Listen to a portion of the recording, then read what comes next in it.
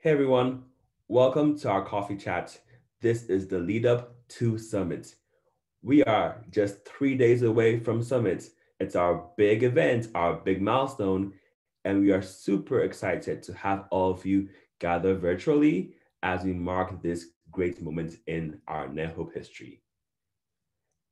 20 years of collective impact, 20 fantastic years. 63 members from all parts of the world. 27 summits, 27 summits. Now with me today is Elizabeth Njoroge, and she is with Christian Aid UK, and she is an information communications technology business partner. We want to have a virtual chat whereby we get to see what Christian Aid UK's impact story is about. We also get to know more about their interaction as a member of NetHope, but also what Elizabeth and the larger member community is expecting this summit. Elizabeth, welcome to the coffee chat. Thank you so much. Elizabeth, for some of our listeners and viewers that do not know the impact that Christian Aid UK is trying to achieve, what is that impact that the organization wishes to achieve? Thank you, Tegan, for having me today and glad to be talking about the work that Christian Aid has been doing. We are a partnership of people, churches, and local organizations committed to ending poverty worldwide. We do work with local partners and um, advancing the localization of bringing up and ensuring that we have resilient communities so that they can be able to better support themselves. From community health, where we are we are working on one of our, of a global fund project in Malawi to end HIV, to inclusive markets, where we are supporting Nyuki Hubs, one of the social enterprise, to market linkages all the way from um, issuing of, of, of beehives collecting of that honey and marketing and sale of that honey so that the, the beekeepers can be able to have livelihoods. To voice and governance, where we are speaking truth to power and ensuring that good governance is available in the countries that we operate, for instance, in Kenya, where, where we are talking about um, climate change at the forefront right now having our teams from Kenya represented in the COP26 that is happening in Glasgow as we take our, our, our voices there so that the climate dis discussion can go on and we can have ad adaptation methods within Kenya to resilience and, and, and climate change, but also to agenda and empowerment and inclusion through our side-to-side -side movement that has been quite a formidable um, movement that is changing and having an inclusion and equal distribution of power at the heart of poverty within the various countries of operation.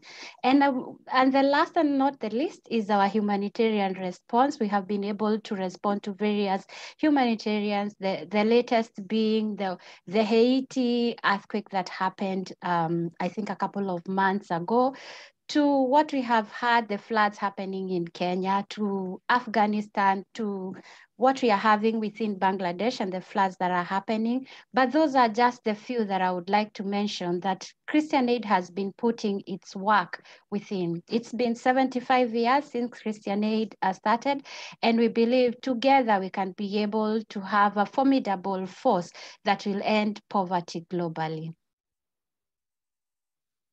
Elizabeth, thank you so much for sharing. A couple of things I picked up from the diversity in the impact that Christian Aid UK wants to achieve is that together we can, together we can.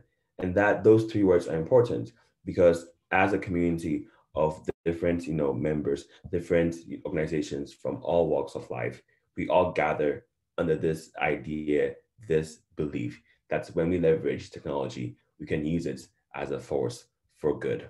Now, as a member of the NetHope community, how would you describe the relationship between NetHope and Christian Aid UK, and how beneficial has it been in terms of using that relationship to achieve large impact? Well, as I've mentioned, Christian Aid has been in existence for 75 years. I may not have been there to celebrate the, the whole 75 years, but in my three years that I have been with Christian Aid, I have seen uh, the collective impact that Christian Aid has been able to benefit over the years. Just to mention there are uh, a few that I have been part of, and some of my former colleagues who used to be uh, there have also been, been, been able to respond and support. So one of them is um, through NetHope, we were able to support our Sierra Leone country office during the Ebola crisis. This was through the setup of their connectivity infrastructure to support the response back there. And that's one of the great examples that has been happening and replicated over the years as we handle the disaster. Another one that I would like to, to share is on um, the humanitarian response training that has been offered over the years that was being run by Rami Chakra. Um, it's one of the training that has been very fundamental in ensuring that the teams have the requisite skills that are required to respond in the disaster. So whenever a disaster strike, what we have seen happen is that the communication always is cut off. So, and that's where NetHope and, and, and Christian Aid, when we are doing our disaster response, comes in. So how then can you be able to set up and restore communication easily and quickly. So those skills that our teams have been able to develop have been instrumental for Africa, for Asia, Middle East, and Latin America that they have been able to support during our humanitarian response. But one thing I would like to also let um, the member organization know is NetHope has invested so much in ensuring that this training happen. But whenever a disaster strikes, organizations are not very keen to send or rather to volunteer their trained staff to be able to respond in the in the rota. So I would call all members whenever some of these trainings are offered, let also be ready to turn up to stand up and also uh, form part of the of the NetHope uh, response team. And one last one, perhaps that I can be able to also say that Christian Aid has been able to to benefit from the NetHope engagement is on the chatbot, chatbot development. And this was through a funding, a grant funding through NetHope and Microsoft. So I've, I've been at the center of developing the chatbot at the moment. For once, I've become a chatbot developer. I didn't used to love programming, but right now, with the no-code skills that Microsoft is offering, has made me being able to become a chatbot developer, and I've been able to develop a chatbot for Christian Aid that is helping us in our technical support. So that's one of them. And perhaps perhaps during the pandemic, we've also seen the collective force and the collaboration between the tech space that have come out here and, uh, and provided their grants to be able for people to respond to the pandemic. And one of them that Christian Aid has been able to benefit is on the Twilio grant. And we managed to get 20,000 USD of product credit that you can be able to use for our for our COVID information uh, within Kenya as one of the project, and hopefully that we can be able to extend this to the other countries that we operate. Perhaps let me end there, but I believe there are so many other things that those who have gone before me or from the previous 75 years that they can be able to to add. And I think one last one, because that was, I think, the major one that we've been able to see, is the transformation of our core infrastructure through Meraki. I think that was one of the biggest discounts that we managed to get as an organization. And I think most of the member organization were able to get that to migrate from the from the myriad and the mix of the infrastructure that people had to just having one single point of interaction for our connectivity and infrastructure in our various country offices. So thank you. Thank you, Elizabeth. There's this famous saying that says, if you want to go fast, go alone. If you want to go far, go together. And throughout this entire journey of collective, you know, change, collective impact, there's a need for each of us to rely on our networks, but also our skills collectively to get to that destination. Now, with the NetHope member community, there is this sense of diversity, this sense of inclusion, you know. So, what exactly is this sense of belonging, and how has it been very helpful in terms of getting new ideas running? So, now, for example, we have the Africa chapter, now we have a diverse list of speakers from different organizations. Why is this sense of inclusion important for achieving collective impact? I believe um, having seen NetHope for the last, I think, seven or eight years now, I can say it's been a great journey and we have made great milestones in terms of ensuring there is inclusivity. As we began, NetHope was mainly a CIO kind of um, project or program, if you may. And uh, over the years, we have seen more people, more field, uh, more field people. I call them our foot soldiers because these are the people that are the heart of where our solutions from our headquarters are taken. They are the users of our technology solutions. So if the technology is made from our headquarters, for instance, for our case, which is UK, for another one, US, and, and the like, and the list can go on. The users of those solutions are usually at our country offices, at our very remote offices. Think of it, Mogunu in Nigeria, Turkana in Kenya. Um, you can think of, of, of uh, Afghanistan, Herat in, in Afghanistan. You can think of all those places. So having a diverse um, group of people and now this being the field team members, it means then we are getting the problems. So, and with the right problem and the user requirement, then it means we can be able to develop solutions that are helpful to our to our impact and also to our beneficiaries. So in that in that sense, we are able to create more impact because I think before what we would see is a solution uh, brought on board but doesn't work or probably doesn't suit the, the beneficiaries there because we did not get our user requirements right. And that meant then we have wasted time, we have wasted resources. And of course, the impact will be minimal. Having this inclusion means that now we are getting our, our, our user requirements right, and we can be able to develop better solution. Another part of inclusivity has been, we as technology people, we've always been blamed like we do not understand the business so what means is um, ICT is on this other side, creating their own solutions. Our business or our programs are on the other side, trying to create a proposal on health or humanitarian response and name it. So at some point there has been this disconnect. So you bring a solution to the people, but they still do not understand why did you pick that solution? We were not involved. They do not own it. So they do not use the solution. So you use a lot of money bringing in the technology solution but ending up nobody is using it or the uptake is very poor. But having our programs team, having our CEOs on board in these in these NetHope conversations, our operations team, all of them, then it means we are getting things right. We are having the conversations together. As a business partner working with Christian Aid, nowadays I sit through proposal design and and and and discussion so I can be able to understand what exactly are the the, the projects and the programs that are being developed for Christian Aid. And I can wear now my technology hat and say, hey, look, I believe here we can be able to use a certain technology that can be able to make our program more efficient and probably even reach a bigger impact.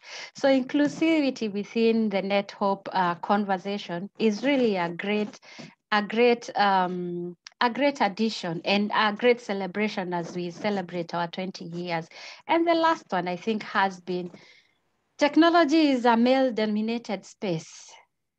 But I think as we are seeing, even from the the the speakers, we are seeing more women come on board, and uh, that means we are closing the gap on the on the gender in the male-dominated world. So I think those are some of the things that I could add in terms of saying it is now becoming an inclusive kind of conversation and partnership that people can be able now. It's a safe space, if you may, for people now, they can be able to engage. The technocrats can be able to speak where their frustrations are. The programs teams can be able to say where their frustrations are. And I think together we can be able to find a solution that is creating more impact for our beneficiaries. Thanks so much, Elizabeth. One thing that I want to also add is throughout the past 20 years, we've shown that technology can not only transform organizations, it can actually transform lives. So we've achieved so much in those past 20 years. And now we have 20 plus years more to achieve even greater things, to scale impact, to transform the world that we know it, whether it is humanitarian, whether it's development, whether it's um, conservation. So when it comes to this bold idea of 20 more years, when you look at Christian Aid UK and you look at where it stands and where it sits within the larger NetHope ecosystem, what do you envision 20 years of collective impact for the future to look like? Thank you so much for that. I think um, for once we can say we are both speaking the same language because there's strategic alignment into what Christian Aid is speaking about or hopes to achieve in the next coming years and what NetHope hopes to to achieve in the next um, coming years. And I think one of them, climate change right now, is at the heart of each and every person's uh, talk. So in our organization, we are talking about decarbonization. So I've been sitting through some of those meetings. And I think when we think about the decarbonization, now from the IT side, of course, it's to do with the power backups and um, having having most of our power um, our power fluctuations in the various country offices means we have to look for alternative solutions. So uh, as we speak about what Christian Aid aims to achieve and what NetHope aims to achieve, I think for the first, uh, probably I would, I don't want to say for the first time, but I think we are getting right. We are getting right into listening to our members and knowing where they are so that we can all go together.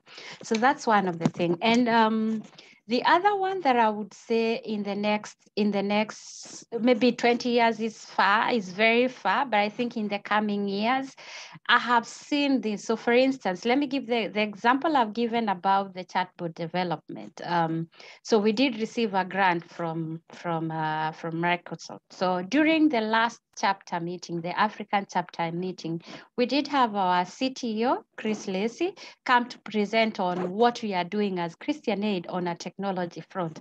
And I think one of the projects that, um, that he presented there was um, a program that we've developed that is able to help people as they are going back to the office. And I, there was quite an excitement from the member community um, wanting to also have that in the various in their various uh, organizations. So I think there will be quite a lot of give and take. So it's not what is NetHope giving, but also what is the member organization giving. And I think with that, then we can be able to go far and we can be able to achieve to achieve much. If I think about um, some of the other things that maybe Christian Aid is struggling with, which i am sure I'll still be speaking for most of the member organization, and this mainly in Africa and the global south, the connectivity and infrastructure still remains a challenge in, especially Africa. It still remains a challenge.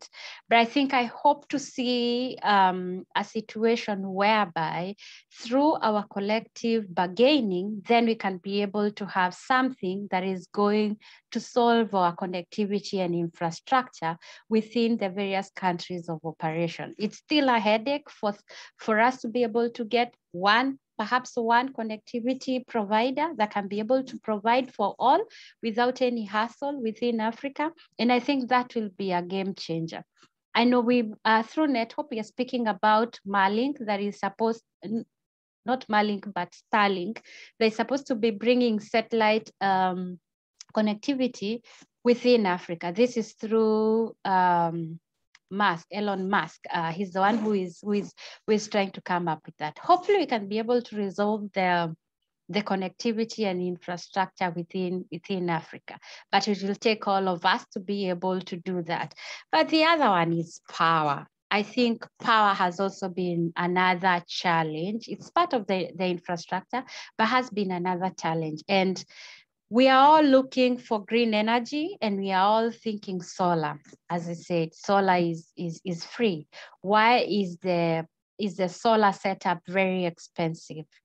Is there a way, can we have a bargaining power with the solar vendors that we can be able to have this at affordable rate, but also together through the economy of skills, be able to put up mega grids within our areas of operation. So for instance, if I say we are uh, working in, um, in Turkana in Kenya and we have various organizations working there, how can we be able to, all of us, have a mega grid, a mega grid uh, built there for the community but for the organizations that are working there, I think by that we are solving the solar or rather the connectivity, uh, not connectivity, but the power challenge that we've all been, been complaining about. So I think those are the very key ones because um, they still remain a challenge for our African uh, content, at least for the Asia Middle East, that's a bit sorted for, for, for now. Elizabeth, um, thank you so much for raising some key points. And one thing that I also believe is essential to know is that regardless of where you are on your journey, we all are working to get better. We are all working to have greater impact, to be more efficient, to be more cost effective, but to also really expand in terms of our impact. You mentioned a couple of things. You mentioned the interconnected nature of, you know, society now. And, you know, even as we try to make the world more interconnected, more connected. We as a community of organizations and members need to be more connected more than ever. And that's why we have this amazing summit that's coming up next week, a week-long celebration of greatness. We also have our power. What is our power as organizations? What is our power as community? What is our power as individuals? And how can we use those big ideas like digital identity, like background and other things just to know that there is power in the numbers but as a community of change makers we can use that power for good. And we have a week-long celebration that is really out of this world. And i'm really excited to hear, hear from the speakers to hear from the plenary sessions the keynotes the networking opportunities. It's so great and so amazing that we have something for everybody, regardless of where they are on their journey. For people that have come to Summit before, or people that are first time attendees of summits, what is your advice for them as we go on this together? What is your one piece of advice for them that, hey, come on, come all, we're a community, let's do this and let's make some change for the next 20 plus years. What is your advice? Thank you so much. It is exciting to be celebrating 20 years of collective impact with, with NetHope. 20 years is not a small feat. So when you walk in um, into the virtual, it's virtual, yes, but uh, that does not cut down on the interaction that are available within the, the virtual space. And one of the things, once you land there, please, it's a time to network it's a time to build your network. We say network is our net worth. I think that's what we all say. So come there ready to network, get those numbers, schedule those meetings within the, the, the platform because that's available. Reach out to that person. Maybe Brad Smith is there, the, the CEO NetHope. Maybe that's the person you may ha never have another chance to speak with. But during that session, because he's there as one of the attendees and one of the speaker, it's your time. Take it, grab it. You have all the opportunity. We have great lineup of speakers that are available great organizations represented. So come and listen. Come with a very open mind. Things have changed from the last from the last two years. I think there has been so much change from personally, career-wise, technology-wise, and the things that you believed and knew before the pandemic probably you may have a change of heart, but you cannot have a change of heart if you don't come with an open mind. It's time to learn because there is a lot, a lot to learn. There are challenges to be to be won. So come and participate in the challenge. You want to see, bring on your heart, your your networking heart. You want to network? There is a coffee lounge, I think, uh, Tiga. There is coffee lounge where people can be able to randomly being matched, and that's a great opportunity for people to just meet those they have never met before. Don't go there and just interact with your colleagues. Don't interact with Elizabeth who you have seen and talked to before get somebody else get new people and interact. And i think the other thing that uh, that is worth mentioning is um, uh, looking forward to the to the summit is uh, this is a male dominated uh, technology space, but I think there is quite a lineup, a great lineup of women in there. Not to say that the others are not, but I think it's one of the greatest milestones. And even me sitting here and being one of your net hosts, um, of your NetHope uh, co-host. I mean, it's it's it's quite a big feat, and I I I celebrate this moment, and I hope that it also be a moment to encourage other women and young girls out there that it's doable. She's seated here. It is doable, and with the other leaders, with the other speakers that we have, we can say it is. Part of the takeaway as you go. This is a summit but it's not a summit like any other. The learnings that you take here, the relationships that you build here, the skills that you develop here, the CPE certificate that you're gonna get after the summit, please may it be a pathway to your next level of advancement in your career, or rather scaling that project because you got the right connection, because you got the right relationship uh, and partner in the in the in the summit that you can be able to to develop so come all come to learn open your hearts because it's only through that that technology can be able to burst into your imagination Elizabeth, thank you so much for joining our virtual coffee chat.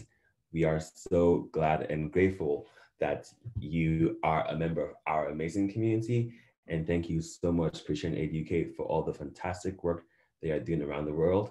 Everybody, that's all we have for you. Make sure you go to our website for the summit, nethopeglobalsummits.org, where you can find the information on the agenda tracks, the speakers, the tickets registration, and so much more. We can't wait to see you all virtually next week from the 15th to the 19th. We'll see you then.